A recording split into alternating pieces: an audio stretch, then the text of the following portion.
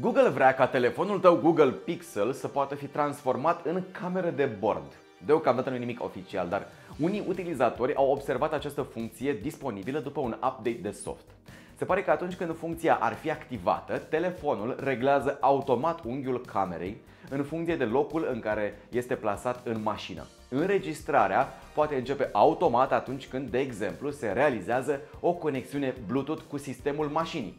Iar atunci când funcția este activă, telefonul va filma chiar și dacă ecranul este blocat sau dacă, de exemplu, se utilizează o aplicație de navigare precum Google Maps.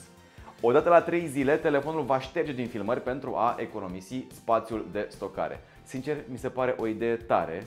Uh, deși acum e doar pe pixel chestia și nu e oficial, mi se pare o chestie tare. Doar dacă filmezi 10 minute când sunt 10-15 grade afară.